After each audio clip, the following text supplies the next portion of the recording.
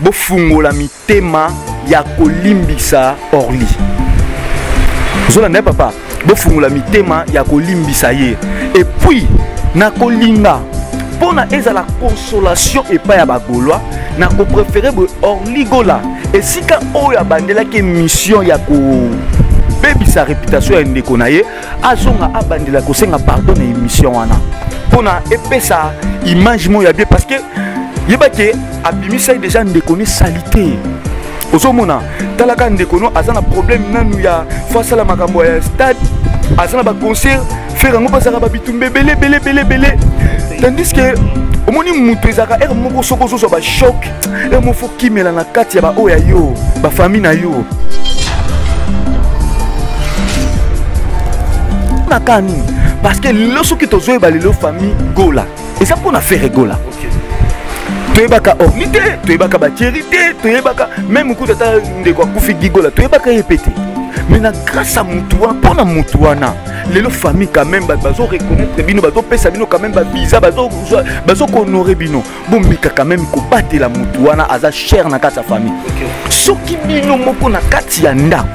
bosali ye bongo bongo bato ya libanda la plupart ya bamakambo ebele baporte d'entrée mpe efungwama mingi na vie ya fere egola eza à partir ya bafamille baproche na ye ntango osalaka délivrance il faut kaka ba filmer jésus christ asala badelivrance mosusu atelemisa bakoka atelemisa bato mai alobaki makambo oyo esalami aboyebisa yango bato libanda te eloko ezoboma siko na kongo nde yango wana kongo ekomi likambo nyonso tu likambo ya delivrance ya vie ya moto tala eta ya sante oyo gi azalaka nango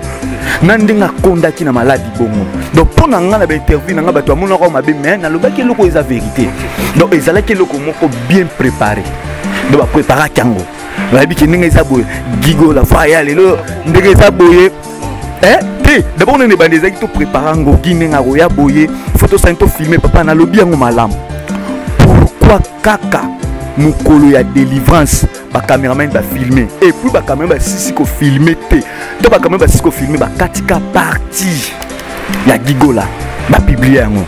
ndenge outi koloba nde bato baoloba lelo soki lelo fere gola azofingama eza parceke bato bakomaki batalaki eta nini oyo gigola azalaki nango mais ezalaki na makambo oyo ekoki koleka nango entre famille basoli yango makambo ya moke eza mpe publie te quand même esali dabord soki soki ezalaki ke fere gola azalaki artiste ya monene te mpe fere gola asali makambo te mpo na kokunda leki nini na honneur obiki elinga ofingisa fere makasi leki abeli nanu bato balobaka akipaka te abwakisa leki atika leki we hmm. bato banga baloba ebele mais sikoyo eloko ekangi bato monoko eza nini niveau ka ya makambo asali ti niveau akundeli leki na ye organisation vraiment mpo na leli mpo na ngai vraiment en tout cas naza vraiment d'accord te na makambo elekaki pa evaki na d'accord nango te mais na conseiller évêque à la prochaine fois asala biloko ya boye to oyo bokomi siko kofingisa nde ko basali na nzambe kaka 80 personnes oyo oh, il faut basacrifie bango mpona stade ya le 24 juin na ni concert le 24 juin na, na stade de martyr bato ebele babangaki babi ah affaire egola affaire egola mais bayo comprendre ke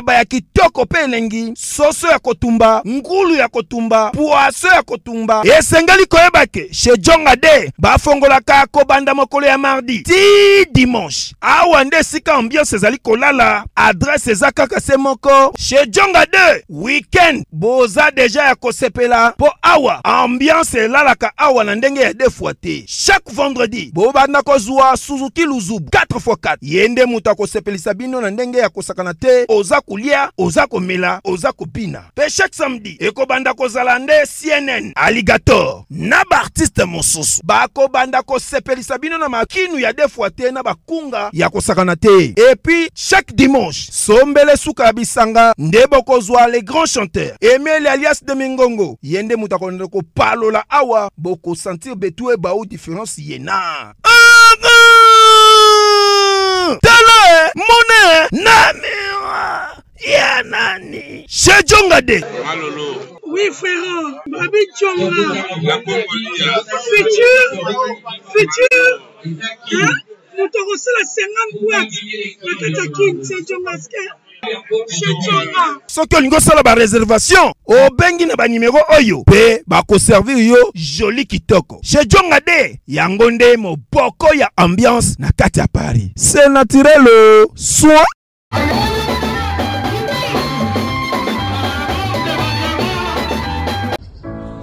Créteil, Créteil, Créteil, nous sommes là. Écoutez, voilà, prends l'adresse. Numéro 1, Voix, Félix Eboué. Nous sommes non loin de l'hôpital Harry Mondor.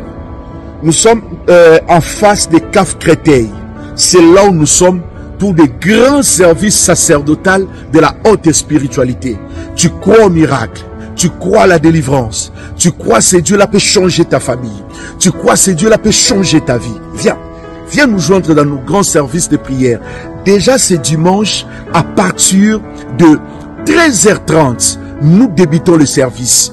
Viens, tu peux nous contacter avec ce numéro 0033 7 66 27 40 0D. Venez nombrer. Ne ratez pas. Viens, tu ne seras pas déçu. Il nous a établis dans cette nation pour arracher, détruire, ruiner les œuvres du diable. Voilà notre objectif. Alors ne ratez pas. Venez nombrer. C'est votre frère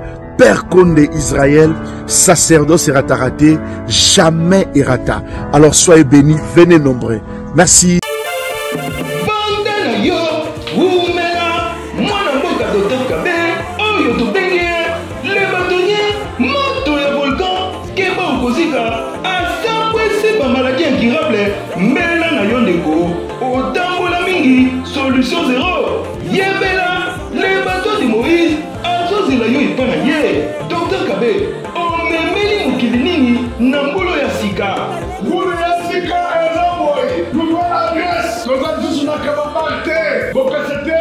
Okutani na moto na kabambare bokasa. Kondima ya te. Nouvelle adresse tozali na Kabinda oleki Kasai. Presque deuxième avenue. Oyo tobenga ngo Dallas d'Amour.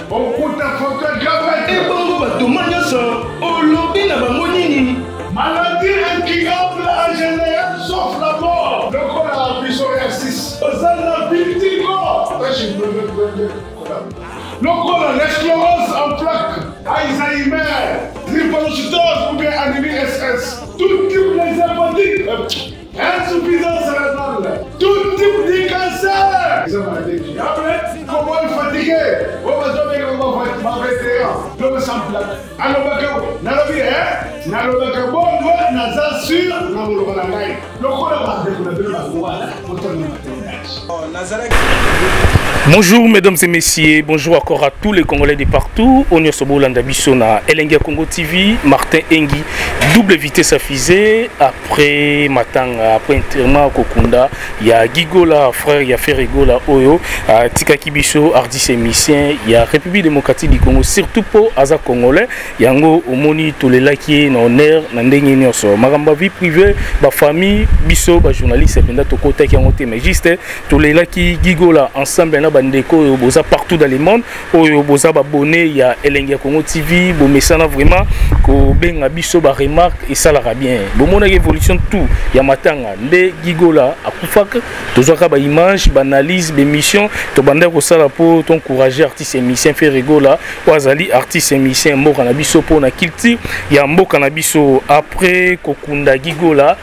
nde tosala sikoyo baanalyse baémission orly gola ferre gola réconciliation après kokundaki gola est ce que boza d'accord nango to boza d'accord nango te mpo toyokaki oyo orly gola abimisaki mpo na ndeko na ye ferre gola alobaki ke baza trois personnes oyo babomi gigola donc eh, moko mwasi ya libanda deux personnes bagarçon ya ndenge ya famille oyo esepelisaki bandeko ebele te na kokitisa nkombo ya artiste ya misien ferre gola orly gola ferre gola réconciliation après kokundaki gola toza ensemble na prophète eh, blanche mpo tosola nanu tosala no analyse oyo ya matanga mpo tomoni ferre gola malgré sante ezalaki bien te mais alelaki ndeko na ye na ndenge mo ntina cimetière ferre gola ensemble na mama eh, silia bazalaki wana toujours accompagne ferre gola ntina niveau ya cimetière tomona présence ya babi ndombe présence ya bandeko ebele mais tokosolango mpe kaka mpo kofi olomide mpe na veille mortuel tomonaki image na ye ayaki badolphe dominguez bazalaki jour interima tomonaki yango bonjour bonjour papa martin mm. boni santé oyo nzambe azobatela malgré santé ningani mwa moke parce que lokola tozalaki na matanga biso mosusu tozolalaka wana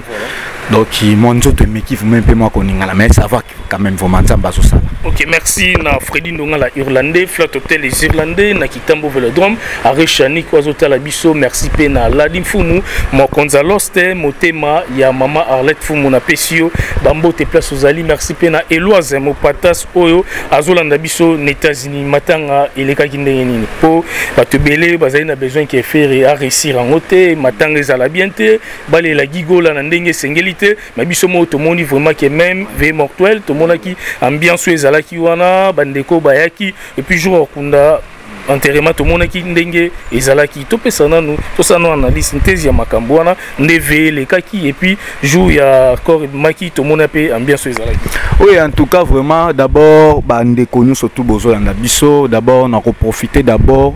eh, malgré ezalaki likambo ya mawa mais ndenge bato bakanisaki ndenge esalami te d'abord nasepelaki na organisation vraiment en tout cas la police na biso vraiment ba travaillaki malamu et puis sécurité ezalaki vraiment et puis matanga ezalaki oyo nakoki kobenga yango ezalaki na classe ya niveau ya ferre okay. eh, parce que soki elekaki kaka likolo likolo bongo bazwi orly quand même orly ah, eh, nani gigola mm. asali mpe quand même mwa ndambu na kati ya jet set voilà, pour donc, la culture vraiment pour la culture mboka oui donc esengaki faut ba honore ye mpe quand même okay. donc yango ntango natalaki la police namonaki kaka ezalaki mpo na faire egola te lokola artiste nanu ya biso mm. mais namonaki ezalaki quand même mpe na honneur oyo mpe gigola asala mpe mpo na mboka na biso congo en tout cas ezalaki bien nasepelaki vraiment parce que bato bandokasa mingi ke mm. mobulu ekobima okay. Voilà, voilà. Oui. Mm. Wana eza ba promesse. Vraiment, wana eza ba promesse to to essayi batu. Oh famille, jour en famille ba kobunda, mais eloko esalami. Oyebi eloko na sepel papa Martin. Mm. Makambo esalami jour oyo tozokende kozongisa nzoto ya, ya, ya, ya gi mm. makambo esalami bato bamoni yango kaka normal mais nga mpa na nga déjà epromettre déjà eloko ya malamu mpona concert ya ferre egola en tout cas bato balingaki ke ezala mwa bongo je pense que bino ba journaliste boyebi ke bato mosusu mpe babudaki a ah, nga nakoya na nga te nga na te mais afandi na, na butu boye asutuka kaka amoni kofi olomida ye elamusi mpe bato misusu donc voilà donc eza matanga ekweki na kati ya famille ya bato inutile tolobaki o famille esalaki boye otokai 80 personnes oyo oh, il faut basacrifie bango mpona stade ya le 24 juin na eh, ni concert le 24 juin na, na stade de martyr bato ebele babangaki babi ah ferre gola ferre gola mais bayo comprendre ke ferre gola na makambo ota mosusu aza te seno bato misusu oyo mpe ti lelo baondima te waka eza ferre misusu baoyo baferre te nayebi te d'après ozomona ndenge nini hmm. non eloko ngai nakoloba na papa eza nanu lokuta moni nga naza prophète bato mingi bakanisaka neti lokola soki naoloba hermo makambo ya fere neti naza golois non mm. le problème eza nga nalingaka miziki ya fere mpe nalingaka fere ye moko okay. okay. ozomona okay. donki ntango toyebisaki bato ke fere gola avant tokoma wana eza prophesie nga napesa ye bato avant tokoma le 24 juin tokwela likambo yango opesa nini esalami likambo tokweli ya gigola ya gigola frère na ye ya gigola soki otali na baémission nalobaki yango bien concert ya stade de martyr ya ferre egola eza na bitumba hmm. baimage eza bato ya talatala tala, tala.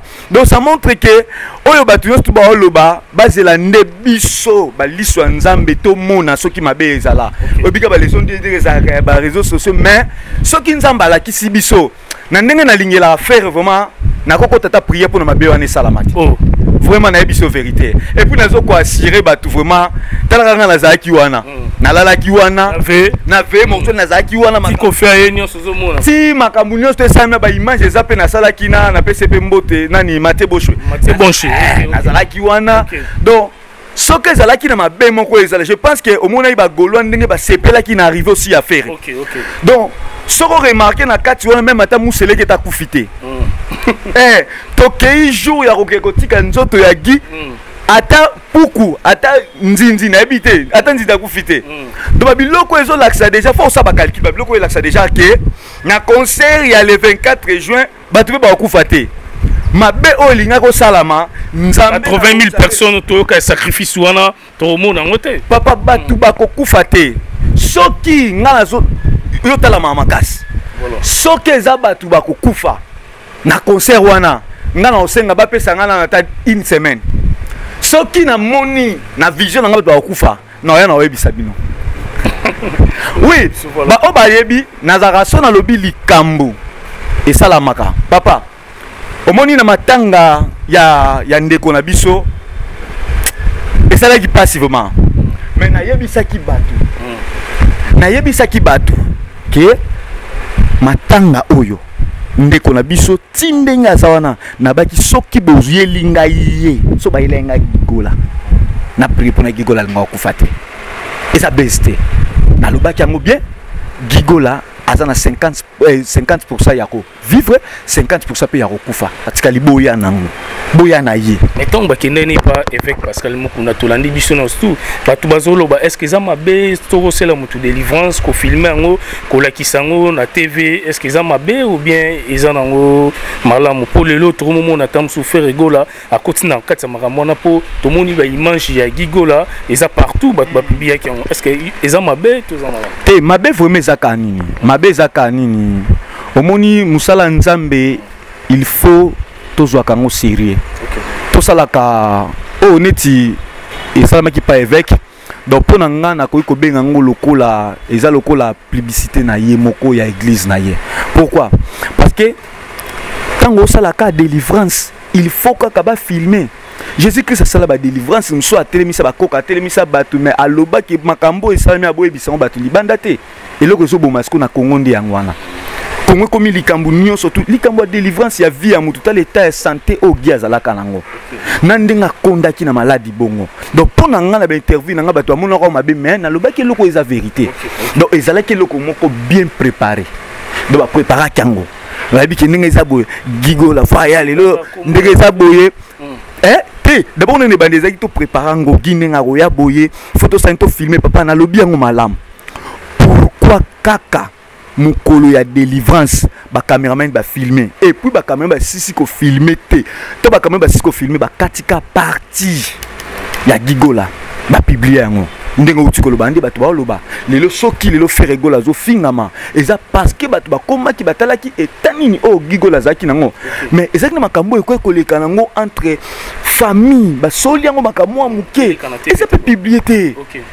hein quand même esali d'abord soki soki ezalaki ke ferre gola azalaki artiste ya monene te mpe ferre gola asali makambo te mpo na kokunda leki nini na honneur oyebi ke elinga ofingisa ferre makasi leki abeli nanu bato balobaka akipaka te abwakisa leki atika leki oui bato banga baloba ebele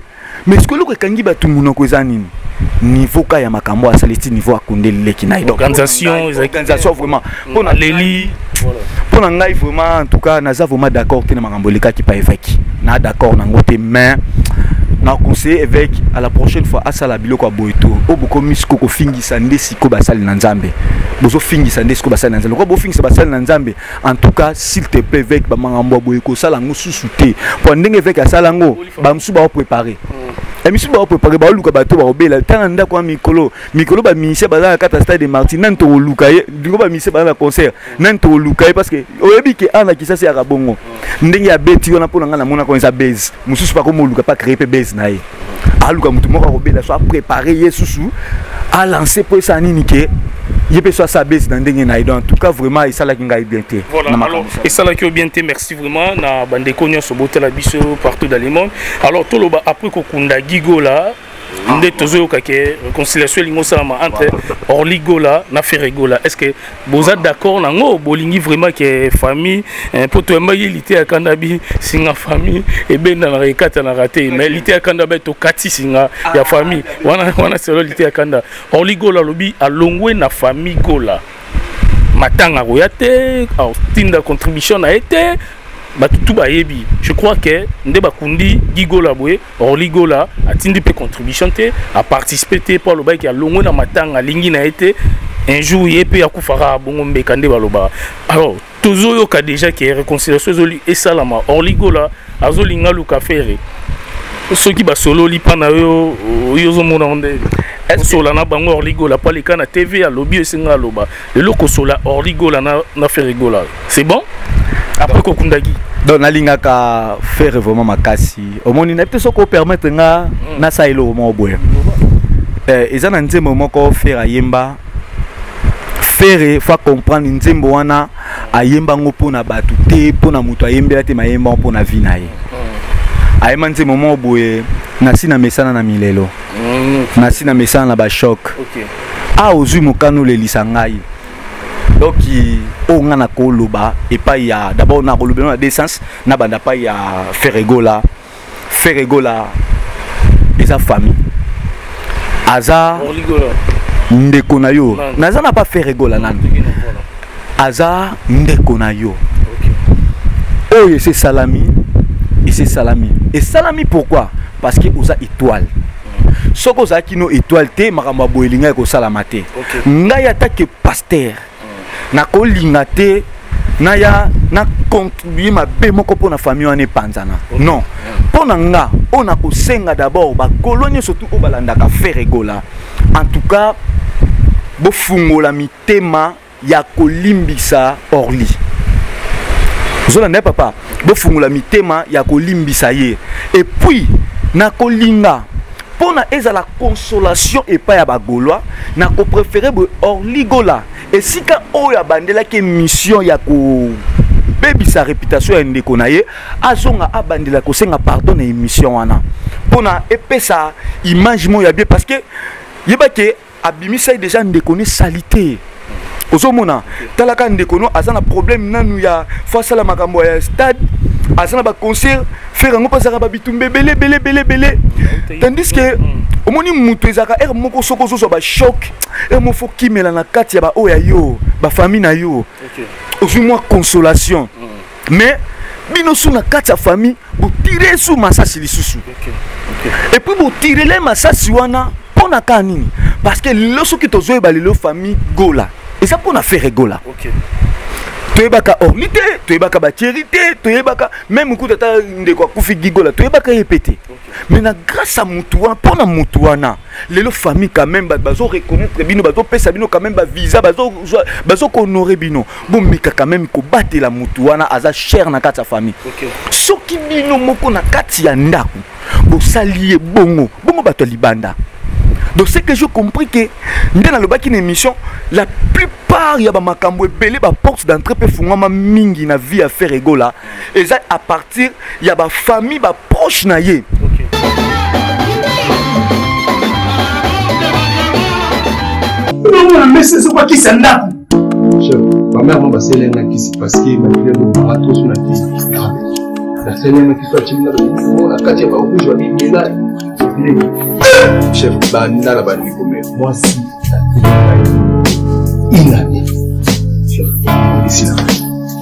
omoni bokufaka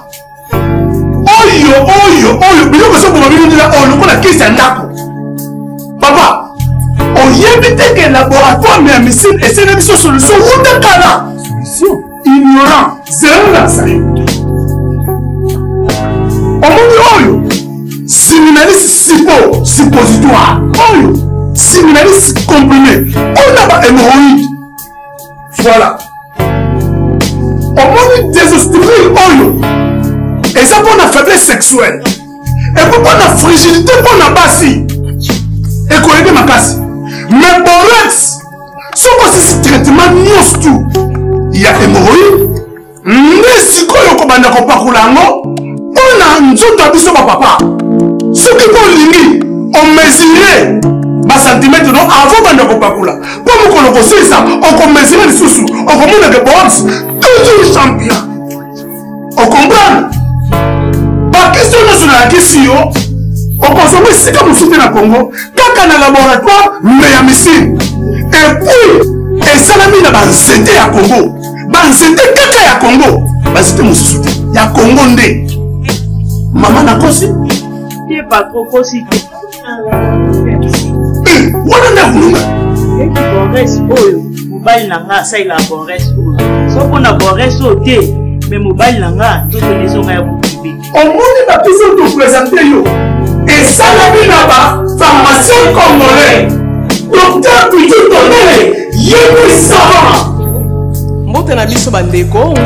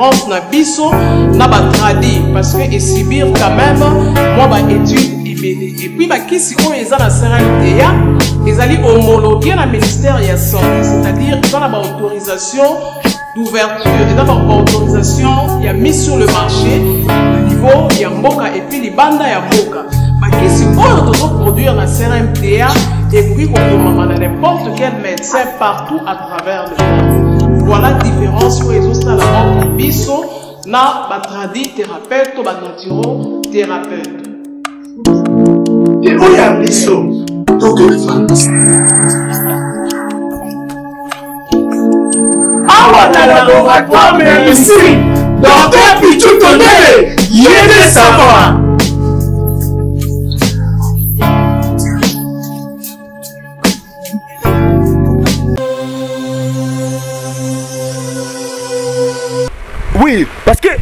ntango neti nga nalanda dernièrement nalanda euh, nini ya, ya, ya guy avakufa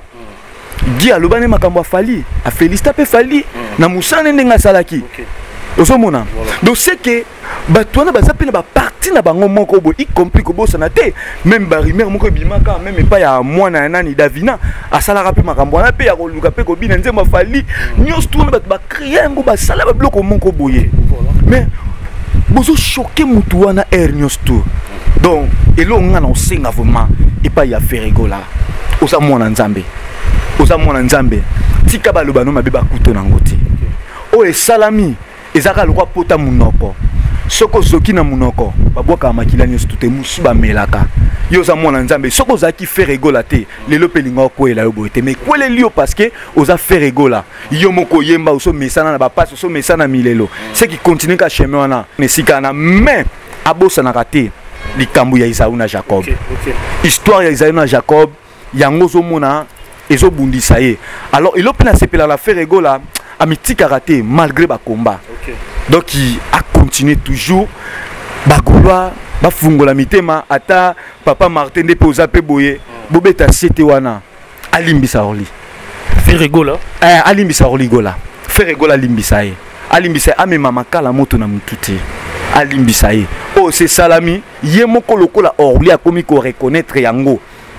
aleka na tv asenga ndeko ne pardon soki asengi ata mosusu na ndako na ndenge ya famille ekoleka ata mosusu na ndenge na bango mais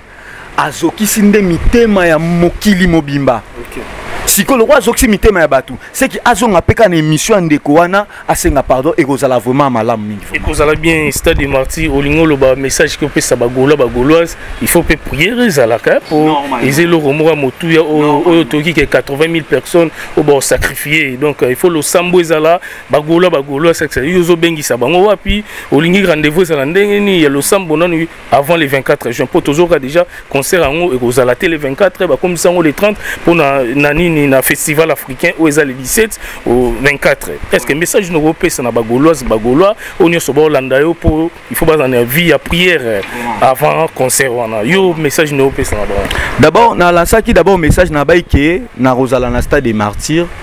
euh, nasololaki na bandeko ebele bajournaliste ebele tokozala na stade de martyr tokosala effort tobondela naobondela parce que nalingaka nde ferre egola nalingi ke mabe te ezala journée wana tomona mpe ya, ya fali tomona denis lesa ayaki asalaki mwa priere wana mm. ah, boso asepuya bato bakufa eske mpo ani tomona prophète denis lesa ayaki kosala priere na concert ya fali tomonaki yango asali priere u apres lobi tomona mama aza na poto siko écran prophétique ayebisaki ye teke bato bakufa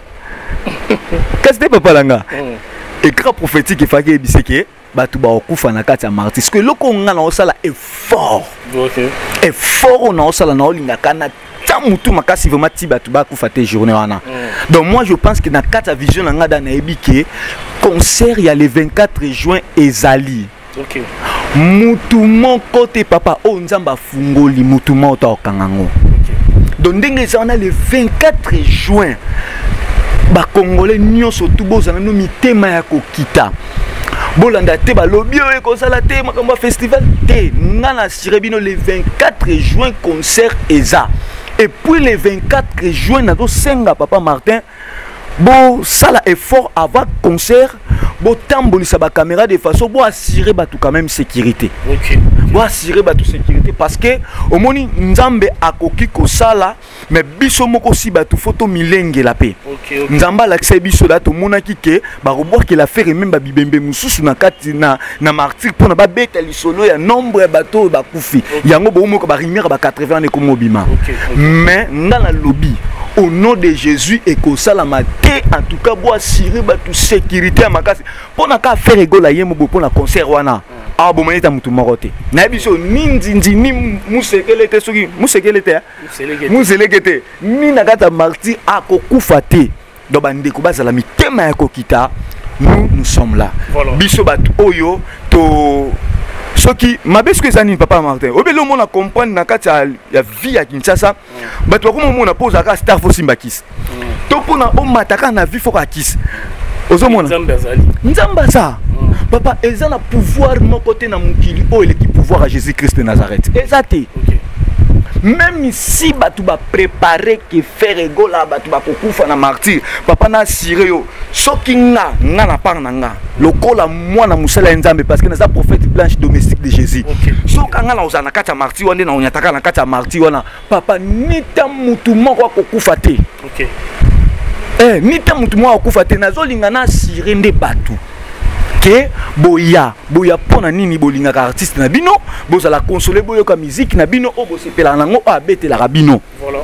mais botia calcule te ke ndenge eza wana kio moto akokufa eza makambo oyo tolobaki mpo na ndeko na biso na pcp kutu mbote héritier wata tolobaki yango ke moto akokufa te mais bacongolais bazali na mposa nini mm. mpo na bamona concert héritier ezalaki bien ifalaki moto akufa mm. donc nde moto akufaki te tala atondisa atondisa te le problème eza abetaki moto akufaki te ndenge mpe ferre gola koya atondisa atondisa te malgré otondisa bakotondisa makasi mm. mais mutu nde akokufa te ntina kati ya batoilette wala ya marti la police donc elo na osenga mpa ya général na biso eh, général kasongo batia mpenza la police sécurité makasi ezala mm. boyoka biso ba jeune prophète oyo toye na ndenge ya nzambe na ndenge ya solo tosangisa makiona te eloko te soki nalobi profesi na beti eloko seke eloko wana erataka te